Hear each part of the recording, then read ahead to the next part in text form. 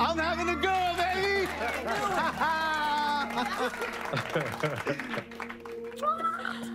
Yeah. And, and, I will love his little girl as if she was my own. Especially because if I didn't, her sister would be very sad. Stop playing! Let's go!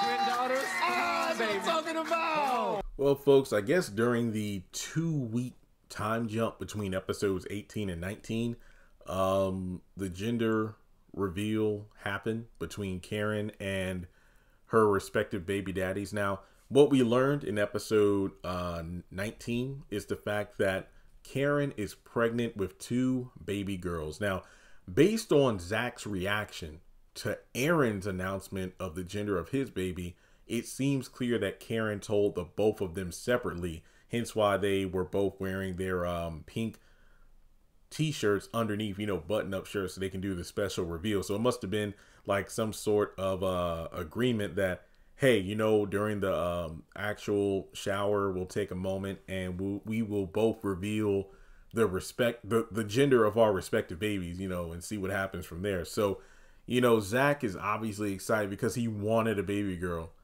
And, you know, Aaron, he's just excited to be involved. So, you know, they're going to be sisters.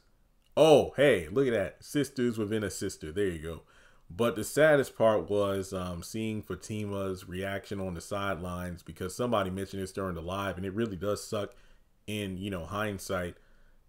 Fatima went from telling Andy, I wanted to be the only one having Zach's babies to Heather having a boy by Zach, and now Karen having a girl by Zach. That means she really can't be the first of anything.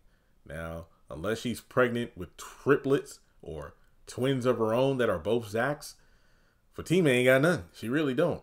And it sucks. I, I feel for her. I really do. But in terms of this situation, um, yeah, Karen is pregnant with two baby girls who will probably have a nasty attitude like her. Let me stop.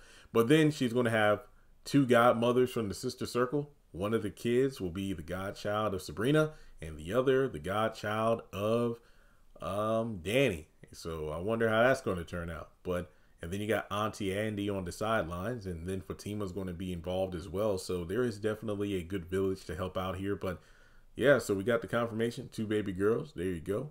Uh, did you guess right? I honestly had no guesses. I think I did say that Zach wants a girl. I pretty. I, I wonder if it's going to be a situation where it's a boy and the girl, but Aaron gets the girl instead of Zach, and then Zach gets another boy. And I'm thinking maybe it'll mirror real life where Devale has four boys, so it's like Michael, the kid by Karen, and maybe Fatima gets pregnant with twins or something. They're both boys. But no, somebody pointed out that uh Devale and Khadeen actually wanted a little girl at some point, you know, within um their uh, group of kids, but they don't have a girl. They have all boys. So it's one of those things where, hey, art imitates life, or in this case, it doesn't imitate it uh, because Zach is actually going to have a little girl. So with that being said, let me know your thoughts on the gender reveal portion of the baby shower and poor Fatima, poor little Tink Tink, or poor little Tima Tima.